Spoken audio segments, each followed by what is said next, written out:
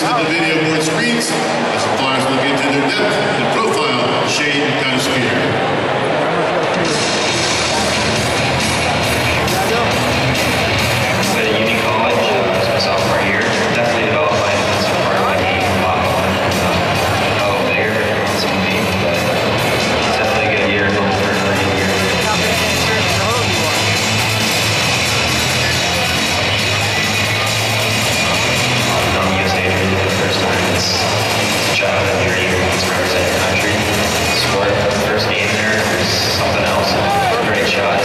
surprised myself with the shot, actually.